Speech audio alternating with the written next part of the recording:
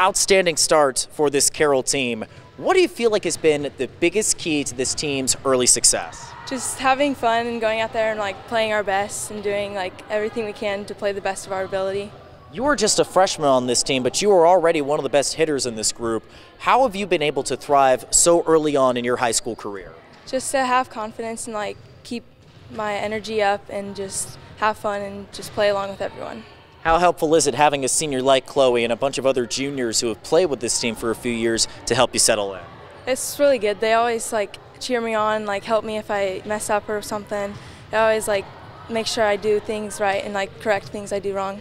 When you look ahead, still a lot of tough tests to come, including matches against Bellmont, against Angola. What do you still want to do as a team to make sure you are at your best once sectionals start next month? Just to have confidence and go out there like that we can like have the confidence to win and be the best and just have fun.